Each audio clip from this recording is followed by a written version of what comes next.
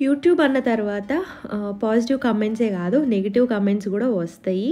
So పాజిటివిటీని ఎలా తీసుకుంటున్నామో నెగిటివిటీని కూడా అలానే తీసుకోవాలి యాక్సెప్ట్ చేయాలి అని చెప్పి ఎప్పుడు నేను చెప్తూ ఉంటాను అందరూ చెప్తూ ఉంటారు. కానీ ఒక లైన్ ఉంటుందన్నమాట.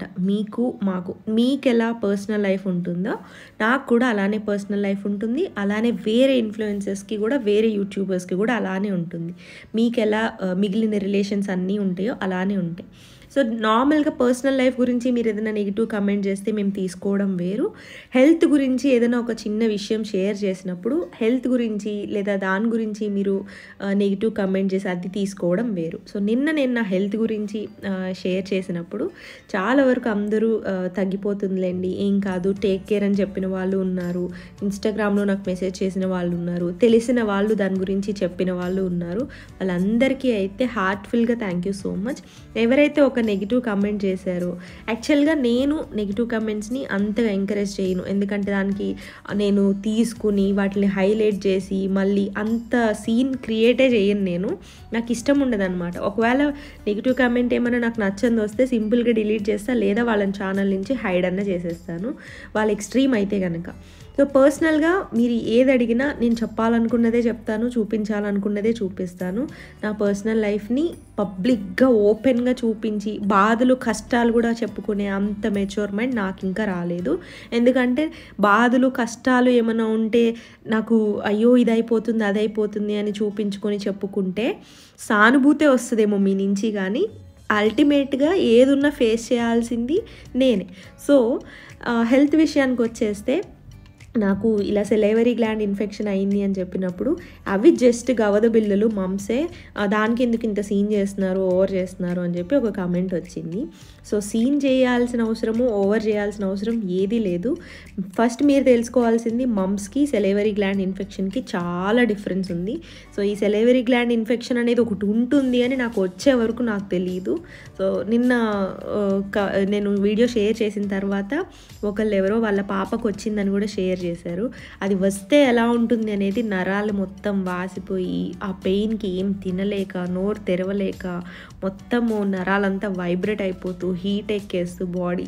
అది వస్తేనే తెలుస్తుంది. ఏదైనా బరువు మనం మోస్తేనే తెలుస్తుంది ఆ నొప్పి విలువ ఏంటి అనేది. సో అందుకనే అంత ఈజీగా ఎవరిని ఒక మాట అనేకండి ఆ ఎదుటి వాళ్ళు తీసుకోవడం కష్టం అనిపిస్తుంది మనకు వస్తే కూడా మనకి తీసుకోవడం కష్టం అనిపిస్తుంది so welcome back to our channel she Swathi ఏం చేస్తున్నారు? ఎలా ఉన్నారు? నాతో కింద కామెంట్ సెక్షన్లో షేర్ చేసుకోండి. అండ్ ఇవాళ వీడియో వచ్చేసి బర్త్డే షాపింగ్లో main shopping and every year నేను చేసేదే మొక్కల షాపింగ్ అనమాట సో ఈ ఇయర్ కొంచెం స్పెషల్గా నేను బర్త్డే ఇయర్ నాకు చాలా స్పెషల్ ఎందుకు ఏంటి అనేది తర్వాత షేర్ చేస్తాను. సో ఈ ఇయర్ అయితే నేను ఇండోర్ ప్లాంట్స్ తీసుకుంటున్నాను అనమాట సో ఆల్రెడీ కొన్ని మొక్కలు నేను తీసుకుని పెట్టినవి ఉన్నాయి. కొన్ని ఇంకా పెట్టాల్సినవి కూడా ఉన్నాయి. కొన్ని ఎక్కువ మొక్కలు తీసుకున్నా ఈసారి. అవి ఏంటి అనేది తర్వాత షేర్ చేస్తాను. సో ఇక్కడైతే మనకి జనరల్గా ఇంట్లో TV units back side fridge back side AC బయట యూనిట్కి అట్లా మనకి డస్ట్ బాగా పట్టేస్తుంది. అది క్లీన్ చేయడం కూడా మనకి కొంచెం కష్టంగా అనిపిస్తుంది కదా. సో అగారో నుంచి కంప్రెస్డ్ ఎయిర్ డస్టర్ వచ్చిందనమాట మనకి. సో ఇది టూ స్పీడ్తో ఉంటుంది. కాపర్ మోటార్ వచ్చేసింది. ఇది మనకి ఎయిర్ బ్లోయర్ లాగా ఎయిర్ స్ప్రే లాగా కూడా పనిచేస్తుంది. సో పోర్టబుల్ ఉంటుంది బ్లాక్ కలర్లో.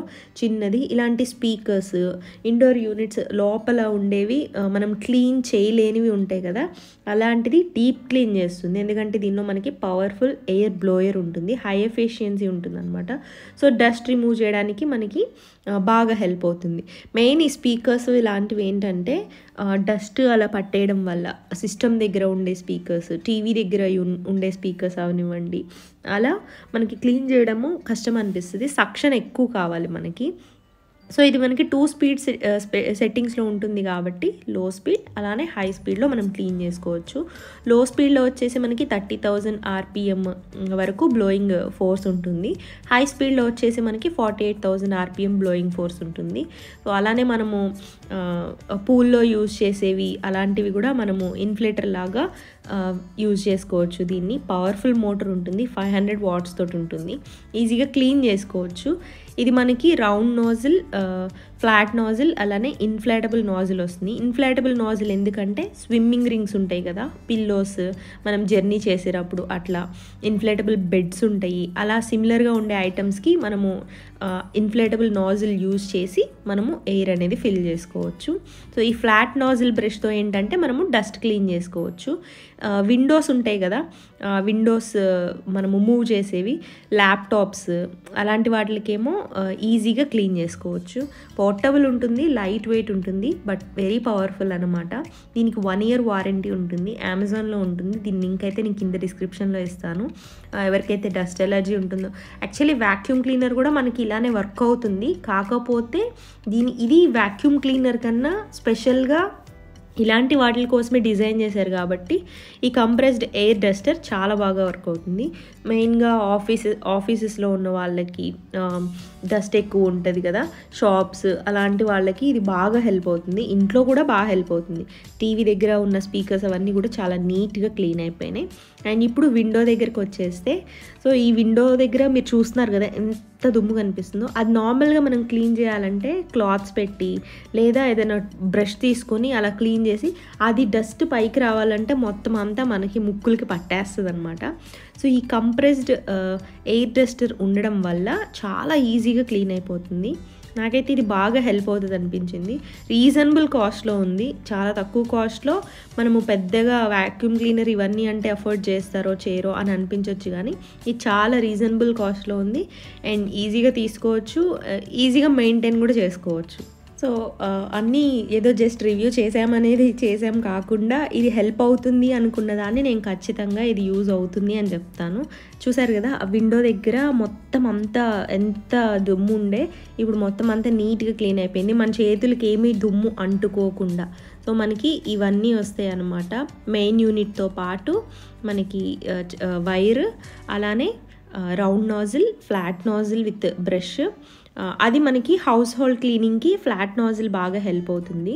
రౌండ్ నాజిల్ ఏంటంటే మనకి ల్యా సిస్టమ్ దగ్గర ఉండే ల్యాప్టాప్స్ అవనివ్వండి అలాంటి వాటిని క్లీన్ చేయడానికి బాగా హెల్ప్ అవుతుంది.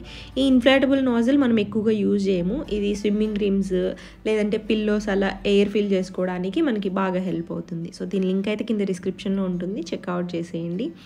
సో ఈసారి బర్త్డేకి డ్రెస్సెస్ అస్సలు సెట్ అవ్వట్లేదని నిన్న చెప్పాను కదా. సో ఫైనల్గా మొత్తం సోచ్ స్టోర్స్ మ్యాక్స్ ట్రెండ్స్ ఇవన్నీ తిరిగిన తర్వాత నాకు ఏమీ నచ్చక అలసిపోయి ఉన్నాను అనమాట అబ్బా ఏది బాగోట్లేదు సరే ఏం సెట్ అవ్వట్లేదు అనుకున్నాను. యాక్చువల్లీ టైం కూడా లేదు. ఇంకా మెటీరియల్ తీసుకుని స్టిచ్ చేయించుకుందామంటే. సో ఇంకా ఫైనల్గా చిన్న చిన్న షాప్స్లో చూద్దాము ఎందుకు బాగో అని చెప్పి మా ఇంటి దగ్గరలో ఉన్న కైరా స్టోర్ దగ్గరికి ఆ పక్కనే బాలాజీ డిజైనర్ స్టూడియో అని ఉంటుంది. సో అక్కడికి వచ్చాను అనమాట అక్కడికి వస్తే నాకు ఈ స్ట్రైట్ కట్ వాటిలో ఫస్ట్ ఏ షాప్కైనా వెళ్ళగానే ముందు నేను అడిగేది బ్లాక్ కలర్లో డ్రెస్ ఉందా? లేదా రెడ్ అండ్ బ్లాక్లో ఏదైనా ఒక డ్రెస్ ఉందా అని అడుగుతాను. ఇంకా అదొక అలవాట్లాగా అయిపోయిందనమాట ఎన్ని నా కబోర్డ్లో ఎన్ని బ్లాక్ డ్రెస్సులు ఉన్నా మళ్ళీ బ్లాక్ అంటే అదొక రకమైన పిచ్ అనమాట సో ఇలా డ్రెస్సెస్ అన్నీ ట్రై చేశాను. ఇవన్నీ కూడా త్రీ థౌజండ్ ఫోర్ థౌజండ్ ఆ రేంజ్లో ఉన్నాయి. బ్రాండెడ్వే బట్ నాకు ఎందుకో మంచిగా అనిపించినాయి లాస్ట్కి. సో ఏ డ్రెస్ తీసుకుని ఉంటానో గెస్ట్ చేసి కింద కామెంట్ సెక్షన్లో షేర్ చేసుకోండి. సో అది ఇంకా ట్వెల్త్ నైట్కి అనమాట ట్వెల్త్ నైట్ ఏవో కావాల్సినవి బయట తీసుకోవడానికి వెళ్తే అప్పటికప్పుడు ఎందుకో అవి కనిపించి కాయరా స్టోర్ అవి. సో వెళ్ళి చూద్దామని చెప్పి చూస్తే ఇంకా అలా నచ్చి తీసుకున్నాను. ఒక టూ డ్రెస్సెస్ తీసుకున్నా నేను వేసుకున్న వాటిల్లో. ఇంకా డ్రెస్సెస్ తీసుకొని ఇంక ఇంటికి అయితే వెళ్ళిపోయాము. ఇంకా నైట్ కేక్ కటింగ్ అవన్నీ నేను ఇంకా బర్త్డే వీడియోస్లో మీకు షేర్ చేస్తాను. సో మొక్కల విషయానికి వచ్చేస్తే ఈసారి ఎందుకో నాకు ఇండోర్ ప్లాంట్సే తీసుకుందాం అనిపించింది. అవుట్డోర్ ప్లాంట్స్ తీసుకుని అవి పాడైపోయి మళ్ళీ మళ్ళీ షిఫ్టింగ్ అప్పుడు ఇబ్బంది పడేదానికన్నా సో ఈ జర్బెరా అండ్ దాలియా ఇవి కొంచెం బాగా అనిపించింది నాకు చూస్తే. సో చామంతులు ఏంటంటే ఈ సీజన్లో వన్ మంత్ ఉన్న టూ మంత్స్ బతికిన నాకు ఆ పువ్వులు అంటే ఎవరికి ఇష్టం ఉండదు చెప్పండి. నాకైతే బాగా నచ్చుతాయి ఇంకా అలా కొన్ని కలర్స్ తెచ్చుకున్నాను. సో మొత్తం ఆర్గనైజ్ చేసిన తర్వాత ఎలా పెట్టుకున్నాను ఎక్కడ ఏంటి అనేది షేర్ చేస్తాను. బాగానే తీసుకున్నాను. మొత్తం త్రీ థౌజండ్ వరకు అయినాయి. ఆ ఆ అబ్బాయి చాలానే డిస్కౌంట్ చేసిన తర్వాత త్రీ థౌజండ్కి వచ్చినాయి మొక్కలన్నీ. సో చూసారు కదా? ఇది ఇవాళ వీడియో. మీ అందరికీ నచ్చిందని అనుకుంటున్నా. వీడియో నచ్చితే డెఫినెట్గా లైక్ చేసి మీ ఫ్రెండ్స్ అండ్ ఫ్యామిలీ మెంబర్స్కి శ్రీ స్వాతి అనే ఒక ఛానల్ ఉందని ఒక చిన్న వర్డ్ని స్ప్రెడ్ చేయండి. మళ్ళీ రేపు మంచి వీడియోతోటి మీ ముందుకు వస్తాను అప్పటి వరకు సర్వేజన సుఖినో భవంతు.